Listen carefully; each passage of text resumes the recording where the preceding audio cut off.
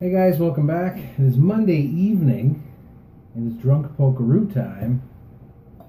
It is time to get your welly on. Now it's beer time. Uh, Wellington Brewery at Guelph just came out with this really cool Welly rebooted mix pack.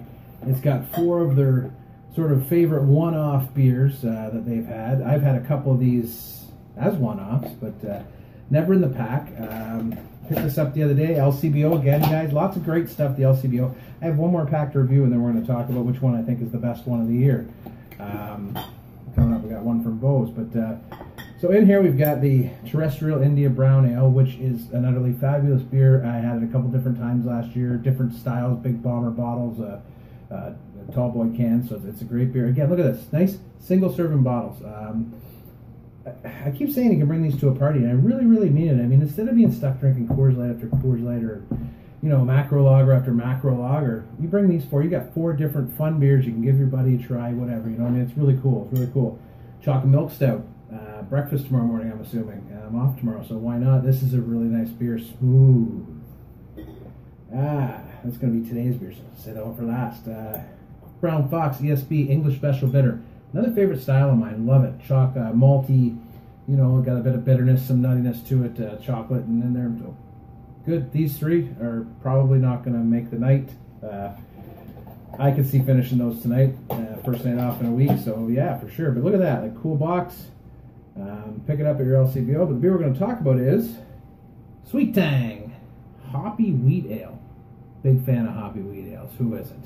Um, this one I've never had. I'm a big fan of that. You know, I like to be able to get a new beer. So we'll get it open. And let's get into this then.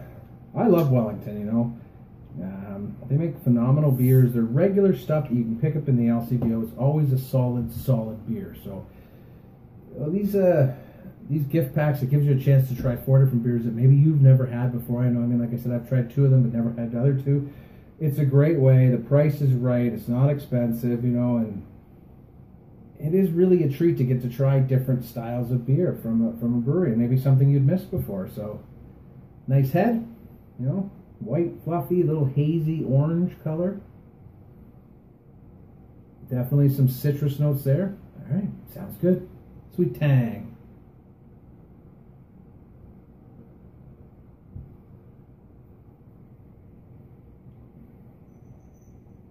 Two reasons that's really good. One, that's the first sip of beer after work and that's always the best of beer of the day. And number two, wow, that's really nice.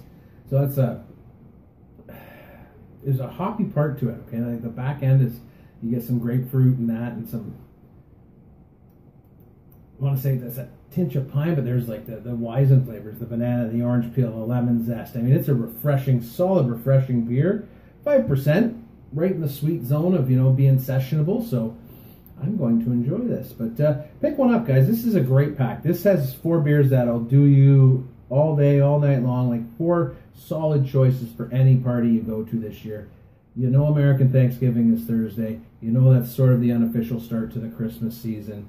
So uh, let's get ready. We've got one more to come. Have a happy Monday, my friends. Cheers.